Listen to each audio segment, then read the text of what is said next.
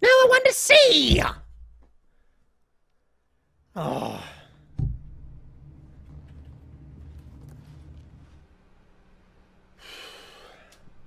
I still see a little bit of lag in the stream. Let me fix that. Anistropic. Anisotropic.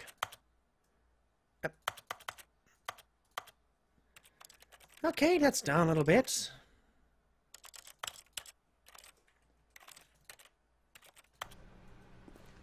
Did it work? Nope. You Not know too much. Stanley? I say forget the adventure line. What's it ever done for us? We're intelligent people, right? Why can't we make up our own story? That's my Something only exit. Daring, mysterious. Ooh, this Daring mysterious, you can write yourself out of a paper bag. you know? I know it's an outline, but this direction? seriously, every time you write something, it's like, oh, it's this one direct line. You know, you. Yes. You- do you want simplicity or do you want Just me and creativity? Stanley forging a new path, a new story. Well, it could be anything. What do you want our story to be? Go wild. It's not- Use your imagination. Whatever it might be, Stanley, I'm ready for it. Yeah, I'm just walking around in circles. I sang the song only because I like the song, not because I like. Oh, there we go. Yeah, hallways. Oh no, not you again. Ah. I'd also like to veto the line from having any role in our awesome new story. No lines or monitor rooms. Are you trying to work with Just me? don't acknowledge it. and We should be fine. Are you trying to side with me?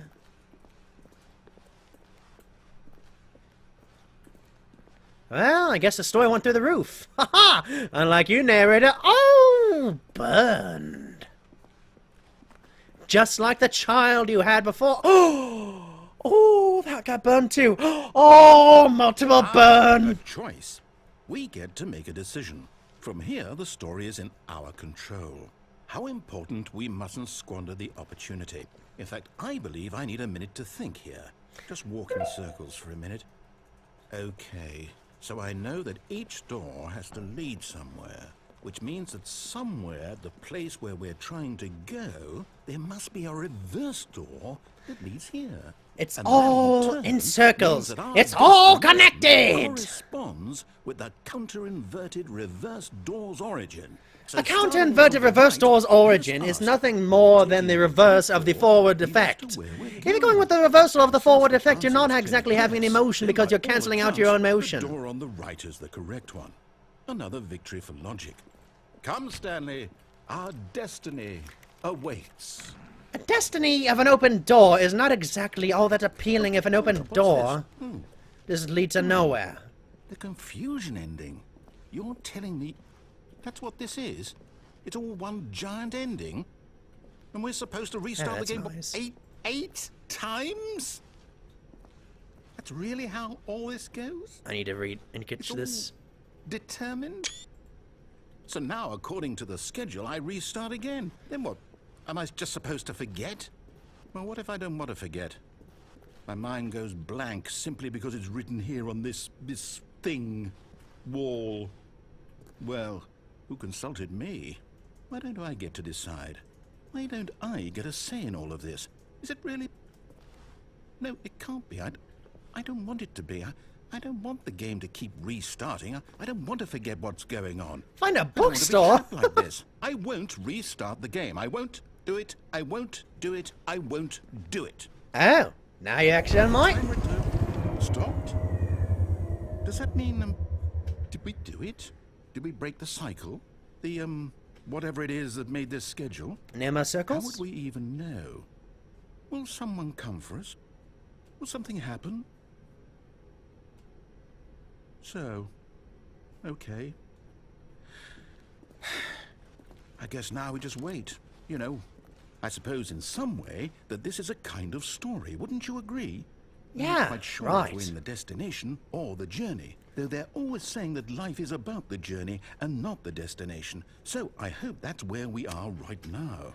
We'll find out, won't we? Yeah, we're not really going anywhere. Well, in the meantime, What the? What the heck was that?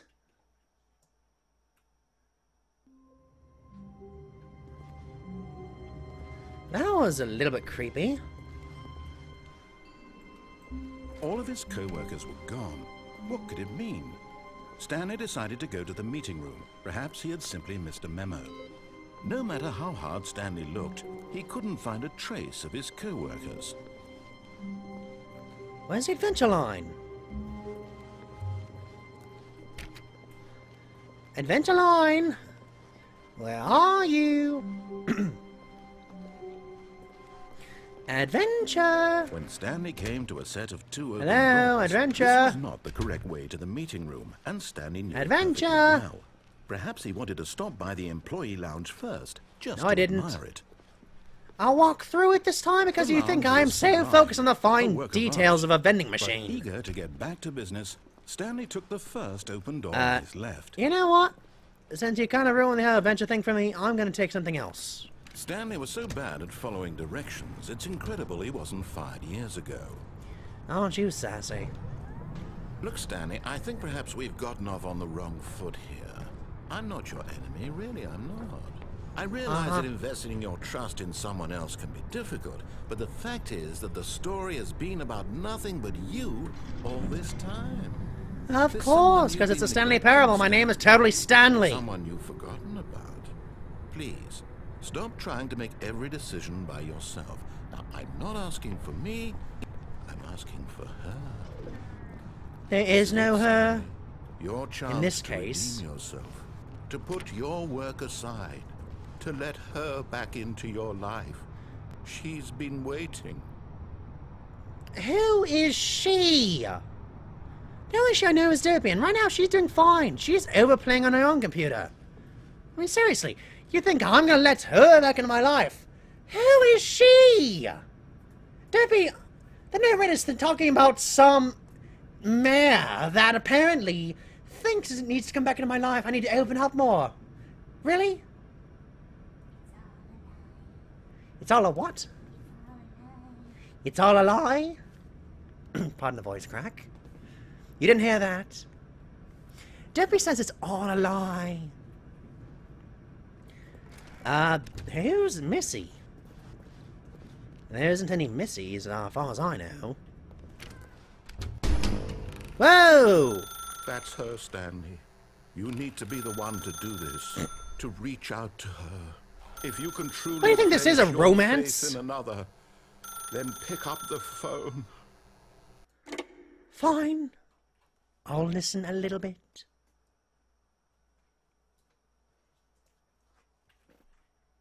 Oh, Stanley, is that you? Uh, hold on, sweetie. Sorry to keep you waiting. I'm just pulling the bread out of the oven. All right. Bread.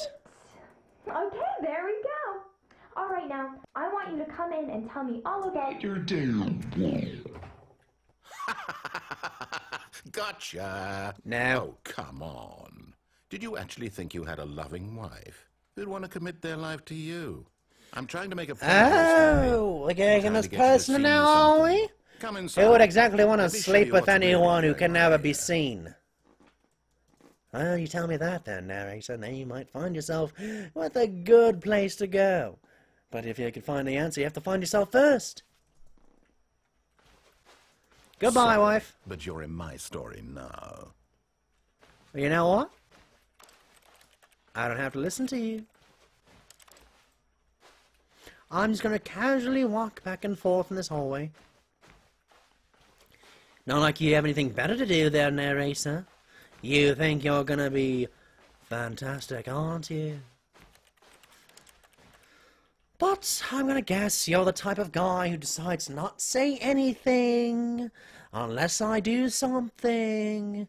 So to save on time and the stress of anyone watching, we'll proceed, I guess. Hello, This Manny. is a very sad story about the death of a man named Stanley. Um, what? Oh, no, that's not X. Oh, what's X? Is it Z? Is it C? No, that's not X. Stanley is quite a boring fellow. He has a job that demands nothing of him. You have a chair Every blocking the bed. pushes is a reminder of the inconsequential nature of his existence. Mm-hmm.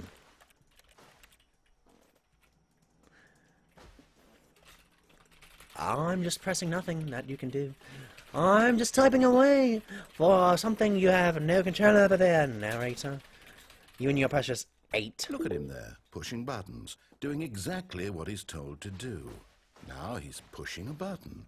Now he's eating lunch. Now he's going home. Now he's coming back to work.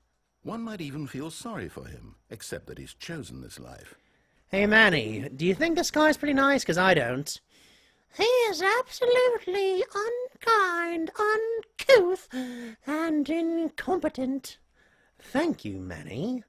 I do agree.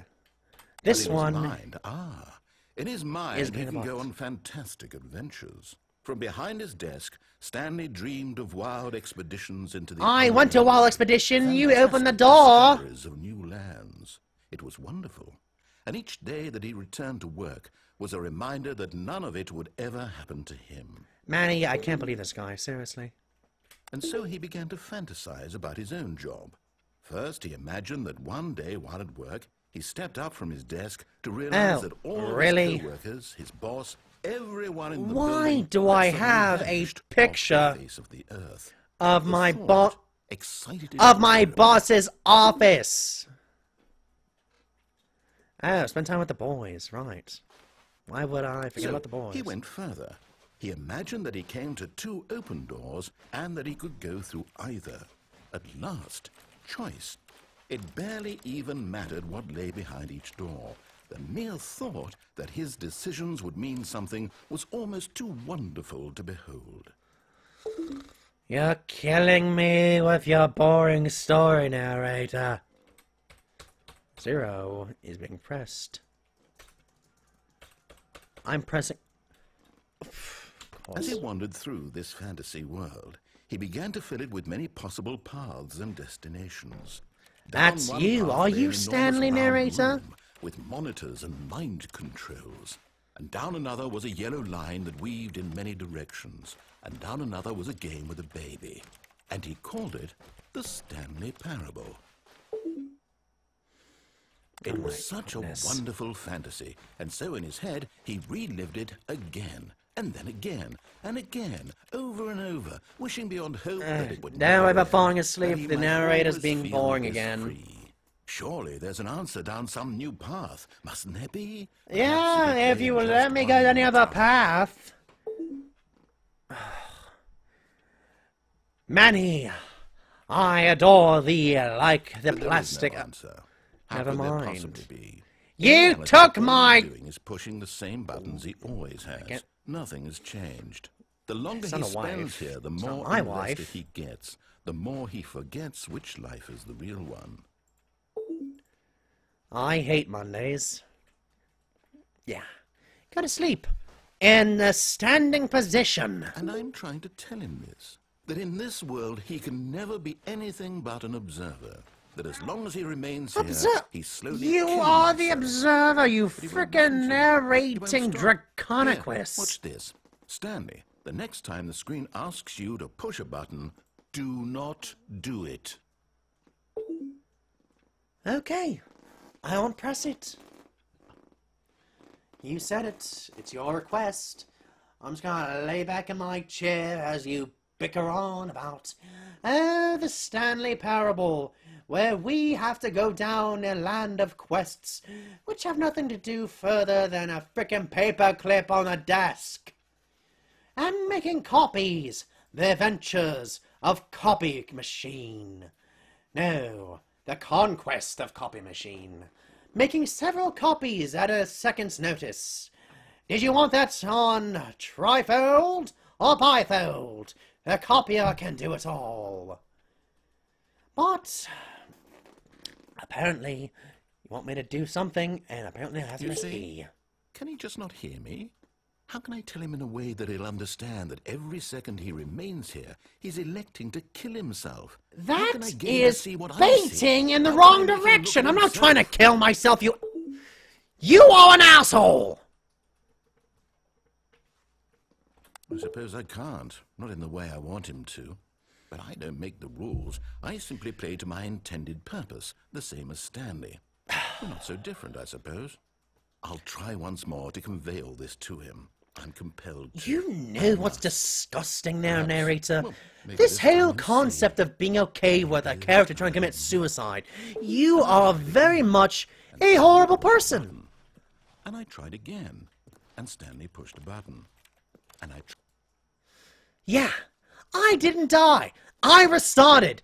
Your exact freaking obsession with death and suicide and killing is bordering on the worst abhorrent range of any existentialism I have ever had the inconvenience of knowing. Someone was following Stanley. He was sure of it. If he checked over his shoulder now, he would surely catch them. It was only a matter of time. Yeah, there's no one over my shoulder except a Discordian butt flap.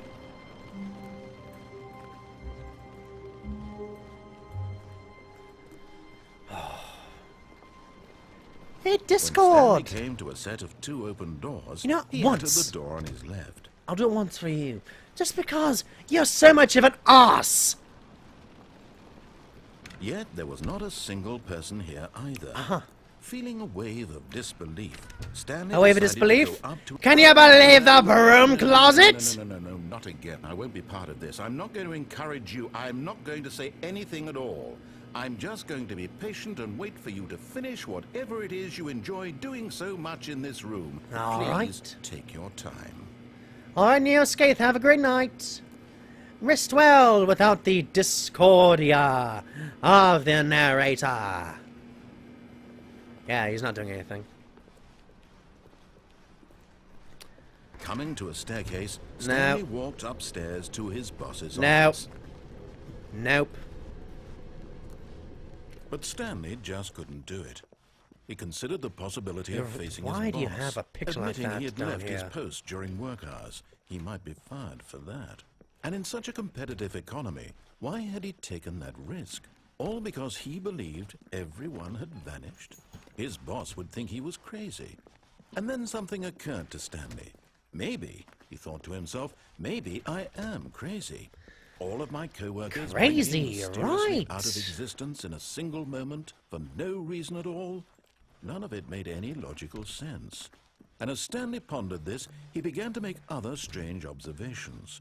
For example, why couldn't he see his feet when he looked down? Why Because that's how the game's programmed? Behind him wherever he went. And for that matter, these rooms were starting to look pretty familiar. Were they simply repeating? No, Stanley said to himself, this is all too strange. This can't be real. And at last, he came to the conclusion that had been on the tip of his tongue. He just hadn't found the words for it. Whoever I'm dreaming! Whoever farted blasted this cup This across the room with their butt. Oh, I blame Derpy. Derpy would only thought so To hard. have finally found an Don't answer, tell her I said an that. explanation. His co-workers weren't actually gone. He wasn't going to lose his job. He wasn't crazy after all. And he thought to himself, I suppose I'll wake up soon. I'll have to go back to my boring real-life job pushing buttons. I may as well enjoy this while I'm still lucid. So, he Yeah. imagined himself flying. The narrator loves circles. above the ground. Then he imagined himself soaring through space on a magical starfield, and it too appeared. It was so much fun, and Stanley marveled that he had still not woken up. How was he remaining so lucid? And then perhaps the strangest question of them all entered Stanley's head. One he was amazed he hadn't asked himself sooner. Ah, Why come on. is there a voice in my head dictating everything that I'm doing and thinking? Now the voice was describing itself being considered by Stanley. Now you're self-aware. That's what I'm talking about there, narrator. Now you're paying attention to what you're doing. Me thinking about how it's describing my thoughts, he thought. And while he thought it all trying to be proverbial. and wondered if this voice spoke to all people in their dreams, the truth was that, of course, this was not a dream. How could it be? Was Stanley simply deceiving himself, believing that if he's asleep, he doesn't have to take responsibility for himself? I can take all the responsibilities I need to, or not. he's ever been in That is at my discretion. Now, hearing the voice speak these words was quite a shock to Stanley. After all, he knew for certain, beyond a doubt, that this was in fact a dream. Did the voice not see him float and make the magical stars just a moment ago? How else would the voice explain all that? This voice was a part of himself too, surely, surely, if he could just... He would prove it. He would prove that he was in control, that this was a dream. So he closed his eyes gently, and he invited himself to wake up. He felt the cool weight of the blanket on his skin, the press of the mattress on his Uh, back, the fresh air of a world outside this one. You mean like the big door? Let me wake up, he thought to himself. I'm through with this dream. No, I'm I not. wish it to be over. No, the Let me go back to my job. Let me continue pushing the buttons. Please. It's all I want. I want my apartment, and my wife, and my job. Oh, good All old I Nanny. want is my life exactly the way it's always been. My life is normal. I am normal. Everything will be fine. I Mm-hmm. am okay. You're not okay there, Discord. Not by a long shot. Stanley Yep. began screaming. Please, someone, wake me up. My name is Stanley. I have a boss. I have an office. I am real. Please, just someone tell me I am real. I must be real. I must be. Can anyone hear my voice? Who am I? Who am I? And everything went black. Of course.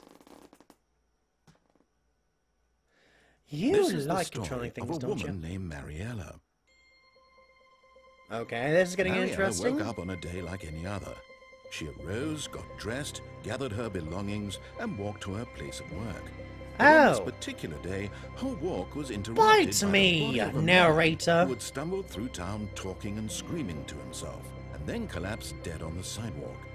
And although she would soon turn to go call for an ambulance, for just a few brief moments she considered the strange man. He was obviously crazy. This much she knew. Everyone knows what You want to talk? And in that moment, The only one that's crazy is you, was to be Discord.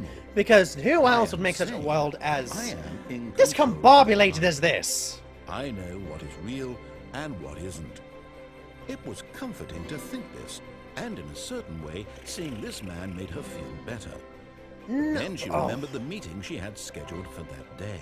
The very important people whose impressions of her would affect her career, and by oh extension, Oh my god, that is that of her is. She had no time for this. So first impressions? It's like, oh, you can't just mess up once. If you mess up, you're always in trouble. That is completely inappropriate.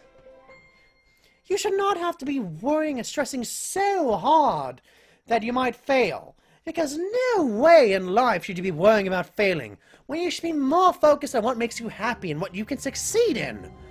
My god, if it really comes down to just being worried about the judgment of others, that is not a very happy life. That is a horrible place to be in. Now, I know plenty of people that do not need to be in such a bad place. Yeah, sure, I'll just look at these yes. chairs of amazing detail, with who farted cops all over them. What a gorgeous Because everyone has a gas at an office, back to business, especially when you fought in the meeting. first open door on his left. Oh, whoop! And so he detoured through the maintenance section, walked straight ahead to the opposite door, and got back on track. What? Did someone say contradiction? I did.